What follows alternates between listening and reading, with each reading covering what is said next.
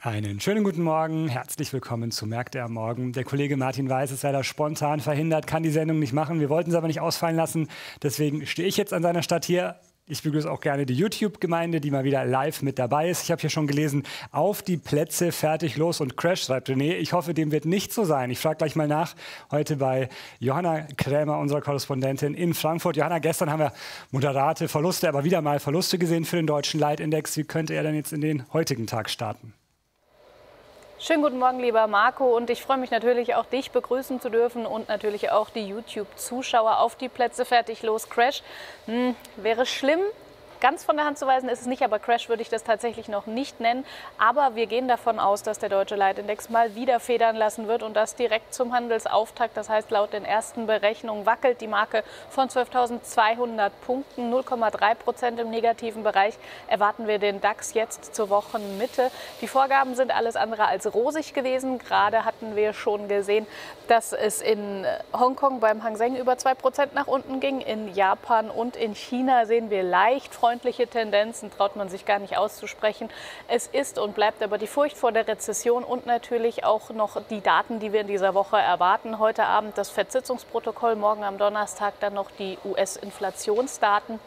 Das zusammen eben noch mit Chinas Non-Covid-Politik, die wieder gefahren wird und eben auch den anhaltenden Kämpfen in der Ukraine kommen alles andere als gut an. Und diese Gemengelage ist natürlich so, dass man hier erst einmal weiter Vorsicht walten lässt und die, ja, der Ausblick auf das vierte Quartal, von dem man sich ja doch tatsächlich so viel erhofft, weil es ja traditionell das stärkste im Jahr ist, der bleibt ein kleines bisschen verhaltener. Also wir müssen erst einmal abwarten. Hoffen wir nicht, dass es zum Crash kommt, aber eine angeschlagene Marktstimmung, die bleibt definitiv.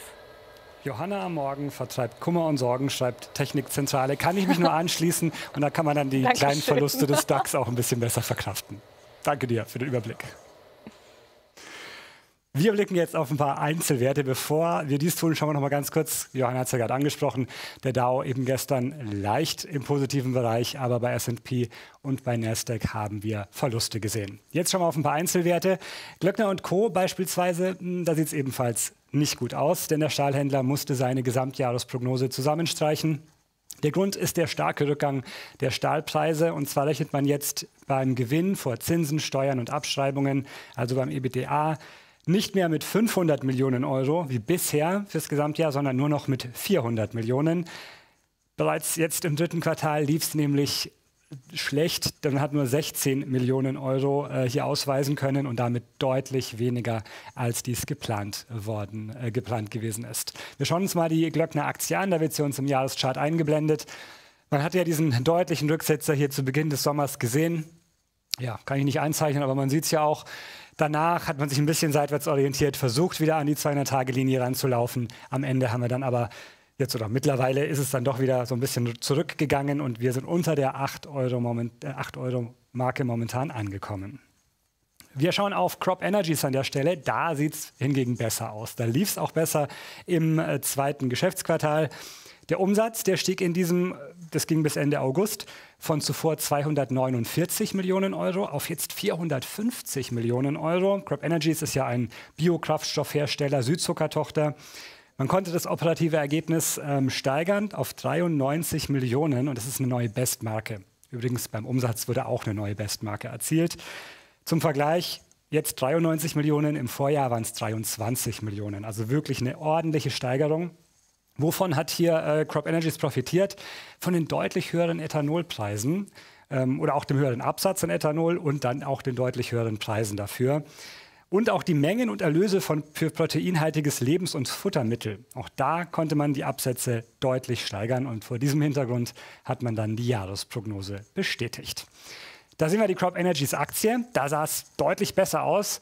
Ja, äh, Geht immer noch nicht. Also, es sah deutlich besser aus. Ich habe es nochmal versucht, aber wir sehen es ja hier.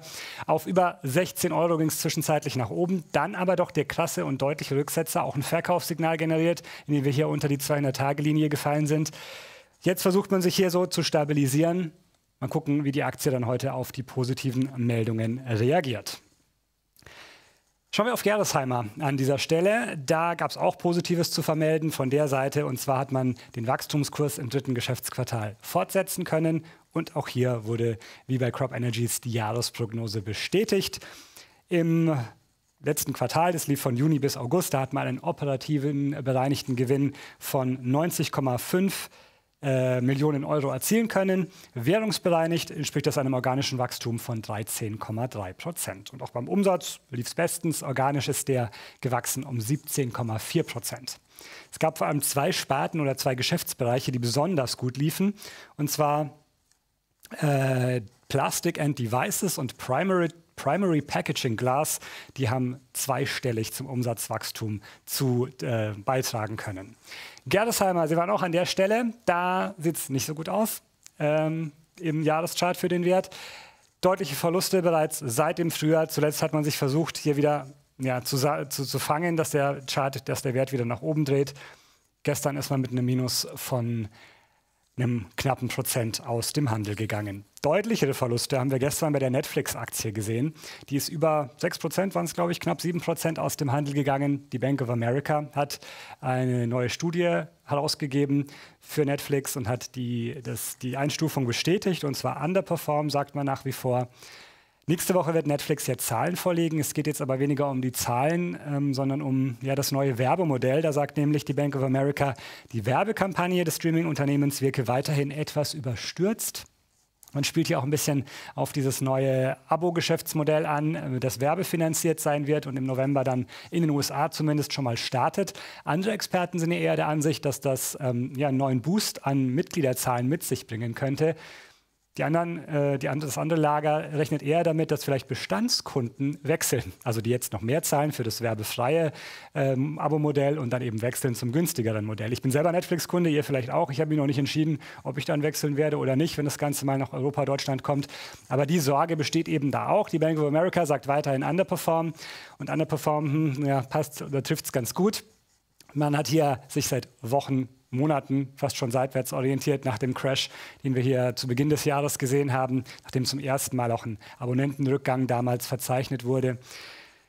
Es gab zwischenzeitlich, äh, vorgestern war es glaube ich, auch mal ein kleines Lebenszeichen, nachdem da wiederum dieses neue Werbemodell von Experten positiv eingeschätzt wurde. Gestern aber dann der deutliche Rückgang von fast 7 Prozent.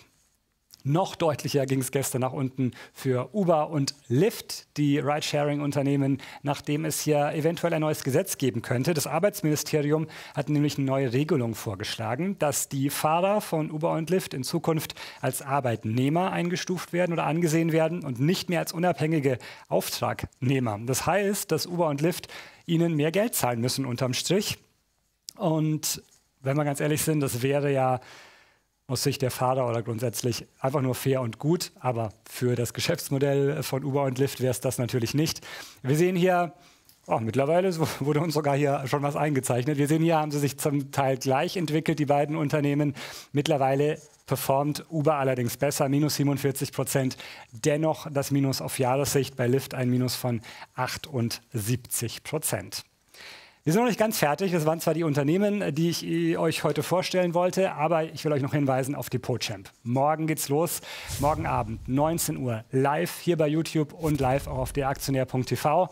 Was ist Depotchamp? Diese drei Herren, Alfred Maidorn, Lars Winter und Martin Weiß, die liefern sich einen Battle. Sie bekommen jeder von ihnen 5000 Euro Echtgeld in, ins Depot. Jeder ein, hat ein Depot. Dann wird drei Monate lang gehandelt und dann wird am Ende abkassiert und geschaut, wer hat mit hoffentlich den meisten Gewinn mit diesem Startkapital erzielt. Wie gesagt, morgen, ihr könnt live dabei sein, immer 19 Uhr. Es werden auch Live-Trades in der Sendung getätigt. Es gibt eine Newsletter, wo ihr weitere Informationen bekommt. Geht einfach auf www.depotchamp.de und ich hoffe, dass ihr dann morgen 19 Uhr auch einschalten werdet. Und dann noch ein zweiter Hinweis. Ihr könnt was gewinnen, und zwar ein iPhone, äh, wenn ihr mitmacht bei unserem Community ähm, Index und euch da beteiligt. 20 Werte, Werte, wurden von euch auch schon im Vorfeld jetzt genannt. Die wurden am häufigsten genannt, diese Werte. Und aus diesen 10 dürft ihr jetzt wieder einen Wert auswählen. Und die zehn Werte, die am häufigsten genannt werden, landen dann im Community Index, der von uns wirklich aufgelegt wird, also vom Aktionär aufgelegt wird. Apple ist dabei, Amazon, Tesla, BYD, Porsche, BioNTech, etc. pp. Also einen Wert könnt ihr auswählen. Ihr könnt in den Community-Bereich gehen bei YouTube. Dort gibt es leider nichts zu gewinnen. Das liegt an den rechtlichen YouTube-Bedingungen. Ihr könnt aber auch auf unsere Instagram-Seite von der Aktionär und dort gibt es tatsächlich, wenn ihr euch da beteiligt und einen Kommentar da lasst, auch die Möglichkeit, ein iPhone zu gewinnen. So, das war es jetzt aber wirklich. Ich äh, freue mich, dass ihr hier ordentlich mitgechattet habt, auch wenn ich nicht die Möglichkeit hatte, hier zwischenzeitlich mitzulesen. Nochmal die Erinnerung, morgen 19 Uhr gibt es dann den Depot Champ. Heute übrigens keine Opening Bell. Die muss leider entfallen. Morgen früh dann aber wieder Märkte am Morgen. Macht's gut, schönen Handelstag euch. Ciao.